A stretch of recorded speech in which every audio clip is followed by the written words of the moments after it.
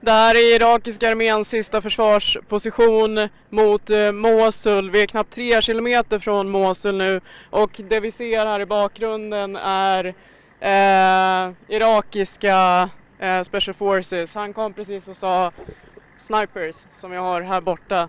Så att vi ska åka tillbaka igen. Alhanda-Nia ligger där borta så att det är där vi befinner oss på kartan. Och eh, Mosul är alltså här och eh, skottlossning just nu.